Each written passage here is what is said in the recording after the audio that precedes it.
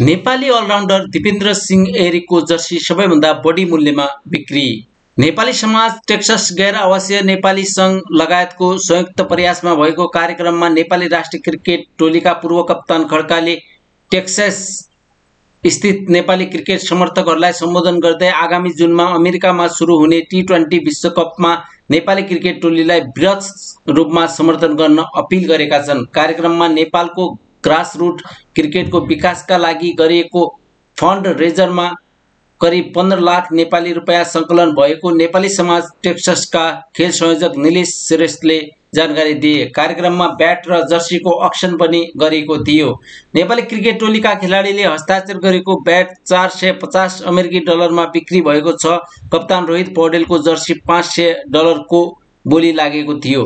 कार्यक्रममा राष्ट्रिय क्रिकेट टोली पूर्व खेलाडी पृथ्वी बास्कोटा र राष्ट्रिय फुटबल टोलीका पूर्व खेलाडी पर्ले राज भण्डारीको पनि उपस्थिति थियो।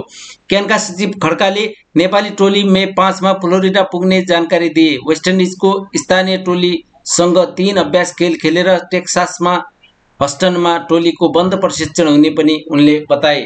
फन्ड रेजरकै क्रममा गरिएको अक्सनमा दिपेन्द्र सिंह हेरीको जर्सी डालास निवासी क्रिस्टल कडेलले एक हजार पचास डलरको बोली लगाएका थिए। अन्तर्राष्ट्रिय क्रिकेट सङ्घ आइसिसीले पछिल्लो महिना खोलेको विश्वकपको टिकटको प्री बुकिङमा उत्साहजनक सहभागिता रहेको बताएको छ।